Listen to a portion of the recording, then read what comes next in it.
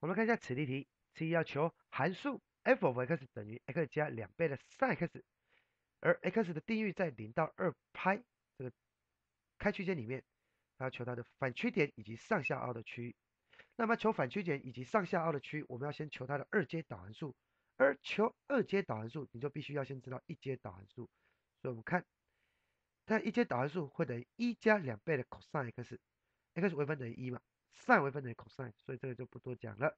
那对一阶导函数再做一次微分，它就等于我们所要求的二阶导函数负二 sin x。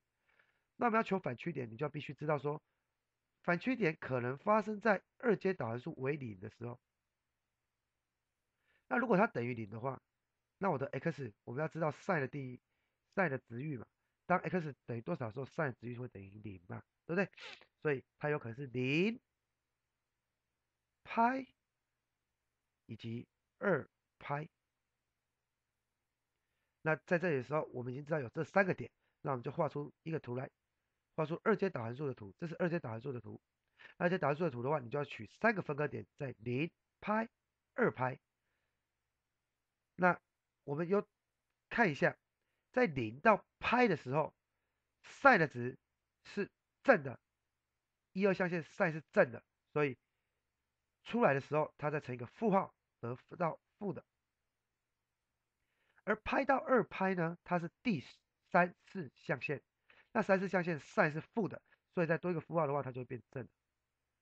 那我们就可以用这个图形来告诉我说，函数 f 在零到拍的时候，记住哦，我们一开始给的定义域是开区间不包含零跟二拍，所以你在这里写的时候，零这个端点它也是一个开的不包含零的端点，所以它在零到派的时候，它下凹的，所以它是它是负的，所以它是下凹。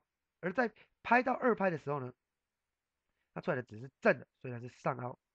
而且我们知道说，当 x 等于派的时候，两边刚好有正负，也就是说凹性是相反的。那我们就可以说，派 f of 派这个点出来会等于派派，它就是我们的反曲点。